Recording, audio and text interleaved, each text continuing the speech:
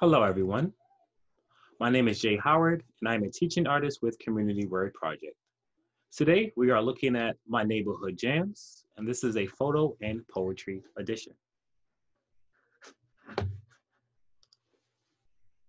On this edition of My Neighborhood Jams, we're going to be looking at photos and poetry to talk about how can we use photography and poetry to paint a picture and tell a story of our community.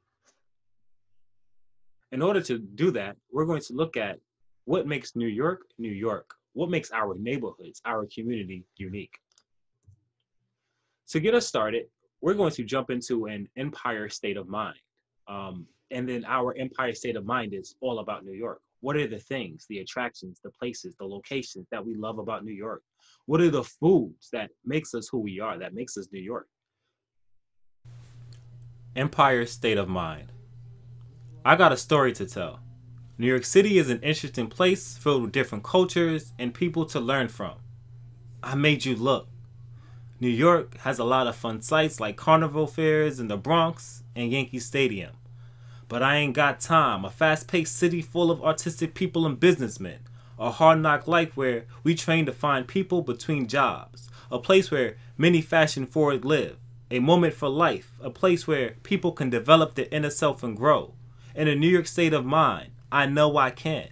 We have other holidays that goes into the months. We dine off chopped cheese, junior's cheesecakes, and churros sold under the train stations, halal, Kennedy fried chicken, beef and broccoli, and potato salad. Drowning in my drip, dollar pizza is good. I'm on my New York ish.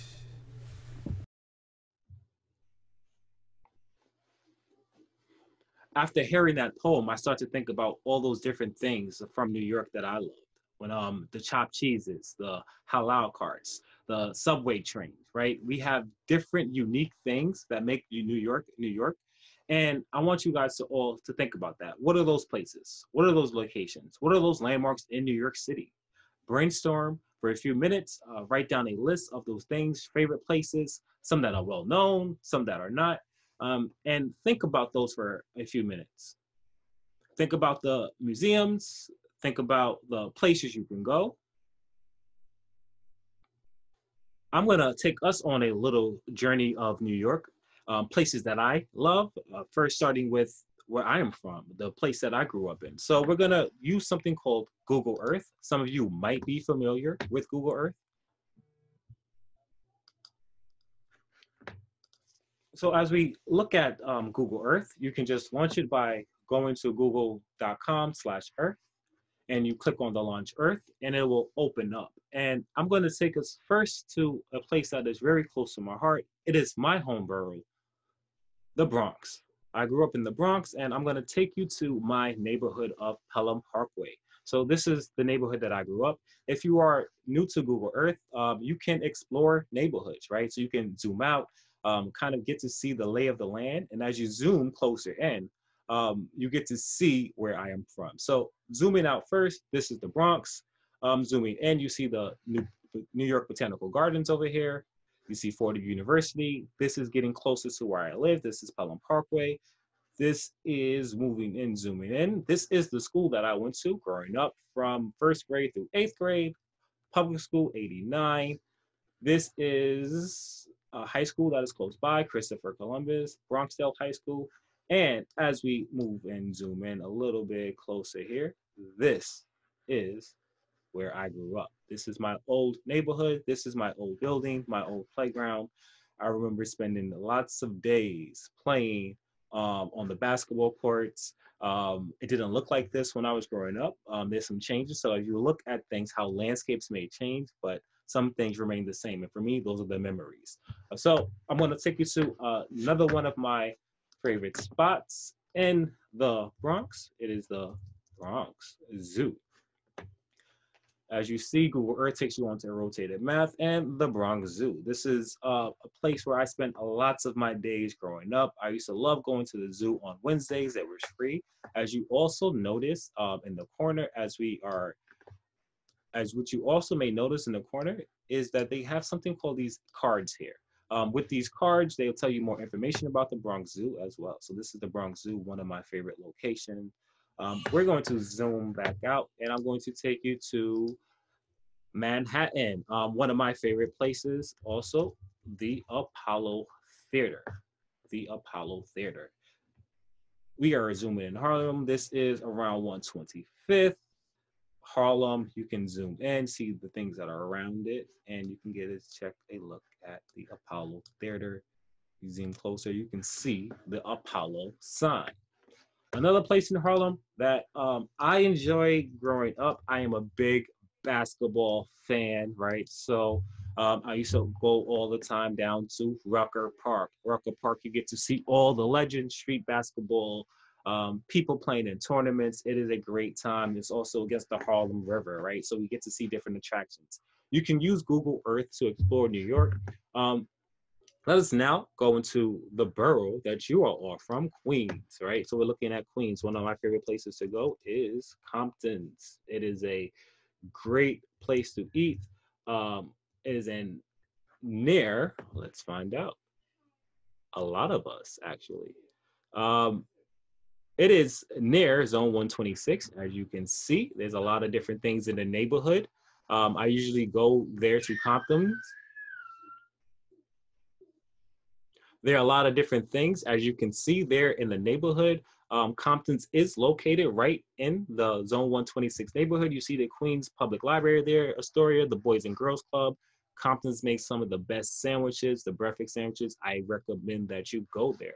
Um, another spot that I will take you to is Brooklyn. Let's show off one of the most famous things in Brooklyn, which is the Brooklyn Bridge, right? What is the Brooklyn Bridge?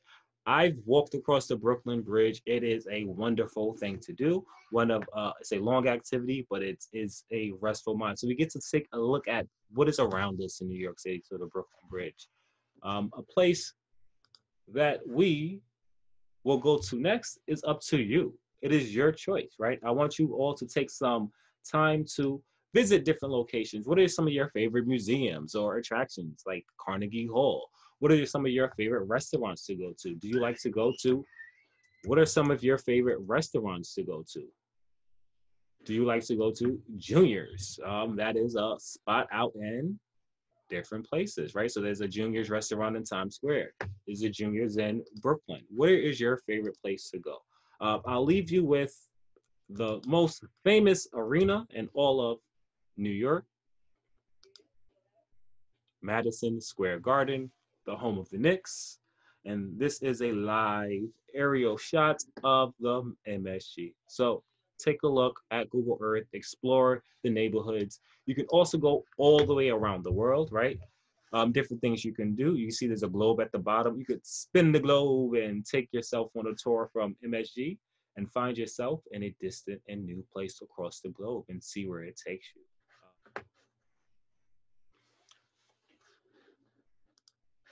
As you see, I am wonderfully located in Astoria Park.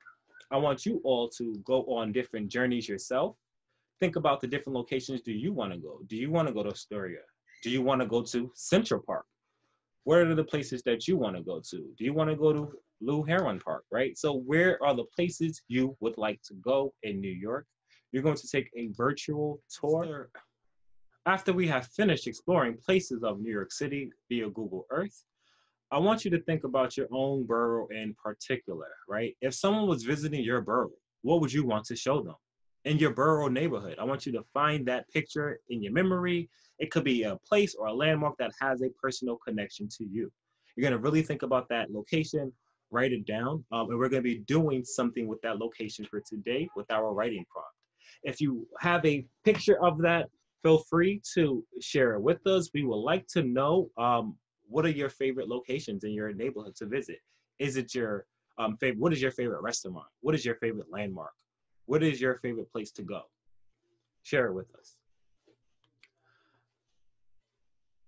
After you have thought about that location, that special place, landmark in New York City that means something to you, you're going to write a caption that portrays that New York City image in 10 words or less, tell the story or the experience of that image, right? If your location you're thinking about is Times Square, what is a 10 word statement or caption that can express how you feel when you are in Times Square.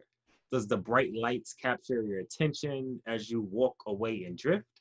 That might be a caption for this image. Um, for me, I'll take a look at two of places that mean something to me. Um, the first is where I currently live, is Bayshore. Um, and this is a picture of the Long Island Railroad tracks that I usually take. And if you think about what that experience is to me, if I think about what does that experience mean to me, it is expensive tracks towards the muddled same road. So that is what I will summarize or put a caption for that image. Um, As you see in the second picture, that is a picture of my neighborhood in the Bronx. I took you on a Google Earth search through that neighborhood, and this is a real photo. Um, and as you see, the landscape may change, but the memories are bright. So that is what my caption would be for my photos. What will be your caption? You're going to tell me in 10 words or less a caption that summarizes your experiences or portrays the image of your location or landmark. I also uh, love a place called Harlem. So this would be a love song from Harlem from one of my favorite artists, Langston Hughes, a writer from the Harlem Renaissance period in the 1920s, poet, novelist, fiction writer. Um, and he has a wonderful representation of what is Harlem to him. So this is Harlem, Jukebox Love Song. Jukebox Love Song, Langston Hughes. I could take the Harlem night and wrap around you, take the neon lights and make a crown. Take the Lenox Avenue buses, taxis, subways, and for your love song tone their rumble down. Take Harlem's heartbeat, make a drum beat, put it on record, let it whirl. And while we listen to it play, dance with you till day. Dance with you, my sweet brown Harlem girl. For our full poem, we're going to look at our location. We're going to write a poem of a related experience that portrays the New York City image you shared or a different location. So thinking about that Langston Hughes poem, how he felt about Harlem. How do you feel about your borough? How do you feel about New York City in general? So you're going to write about a poem about any of those five boroughs, or you can write a poem about any city or location. However, you must have a personal connection to that location. It could be your favorite place, vacation spot, restaurant, landmark, or etc. So your bonus prompt is to write a full poem that kind of captures that. I will share a full poem that captures how some people might feel about the Bronx. I know the Bronx is a special dear place to me, so I want to share a poem that means something to me about the Bronx. The Bronx. We are the solution. The Bronx is burning with desire, passion. The youth is on fire. The Bronx is fearless, brave. Our music, hear it sing. The Bronx is loud and proud. The Bronx is beautiful. It's indisputable from the hub to Washington Avenue. It's irrefutable how we sound views from Fordham Road to the Bronx Zoo. Make your own stories off our avenues. The Bronx is renewable with all our potential energy. The Bronx, we are the solution. The Bronx produces legends, artists, game changers, and visionaries. Champions bowling from the courts of our borough that changes the narratives of our neighborhoods. The Sonia Sotomayor's, the Kemba Walkers, the Bronx is Cardi B. The Bronx is Stan Lee. The Bronx is you. The Bronx is me. The Bronx is the future, producing the talent that inspires a hybrid to dreams. A hybrid of everyone and everything in between. The Bronx, we are the solution.